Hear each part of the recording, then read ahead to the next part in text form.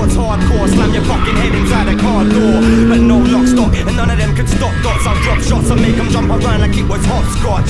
See me mashed off my chops, rocking hot socks. Listening to boring rappers yawning as I block watch. My eyes glisten like a spiral gem. Drunk driving, wetting man's up with hydro lens. I'm high with friends. Trouble on my mind again. These times got me feeling sicker than the lines I pen, but I pretend. Keep putting on this brave face. The opposite of straight lace, the great waste of brain space.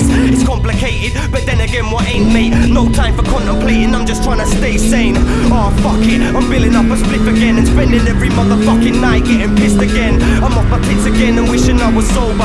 Thinking about the ones I've loved and how I fucked them over. And it's funny how a situation changes so quick. When a danger zone hits, rearrange your whole shit and start running. I'm moving on a Usain Bolt tips. I tie your shoelaces up and make sure that you don't trip. Then I'll rush guts spew.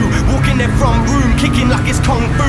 I'll bang their dad out and beat their mother up too. Then give them uppercuts till their eyes look like mushrooms. The kind of cunt who never wants to stop chatting. No matter what happens, they're never stopping Dotz rapping. I tell a flopper, stop gassing. You are not matching. The shots stacked in my mind when a plot's hatching. And I ain't got time for no pricks. Tell a rhyme, I go fish. I was nicer in 06. We'll run up from behind, leave a guy with his throat slit, go skits. And then disappear like a ghost ship. Oh shit. Marbles. Born hence with more strength in my metacarpals. Heavy headed startled, I fell asleep in the devil's castle. On the quest to dead and behead the rascal.